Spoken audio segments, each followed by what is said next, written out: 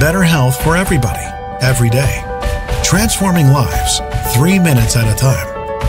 Listen up. This is your daily health tip from The Guud Company. Hey, welcome back. It's Melissa. Welcome back to the best of 2018. This week, we are talking all about some of the hot topics that we've talked about this year. Uh, today, I want to talk about safer personal care products. Anybody who's interested, you can go back to the archives the week of May 26th. I talk all about what I'm going to tell you here in much more detail.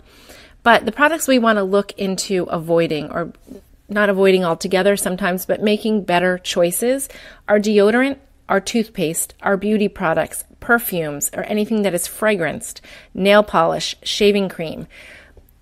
The standard products, those standard products that you're buying at the grocery store or the drugstore, are full of chemicals, and those are toxic.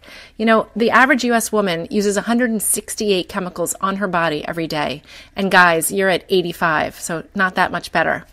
Um, the deodorants we, we want to start using, let's make sure they don't have aluminum in them. You're going to want to shop for these kinds of products at Whole Foods or at your local health food store. Please ask somebody who's knowledgeable for a reputable brand.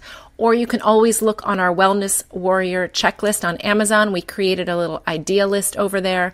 And every time we talk about a new product, we add it so it'll be easy for you to find.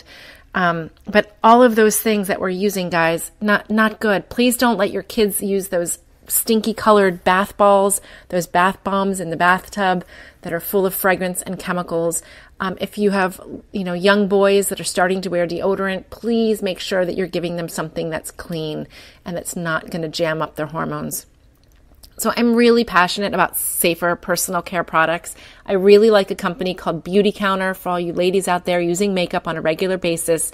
Their products are free of toxins. They've done a ton of work uh, to share the message of safer, cleaner beauty. It's beautycounteroneword.com if you want to check out what they do. Everything else you can check out on our Wellness Warrior checklist. Lots of good, clean stuff over there.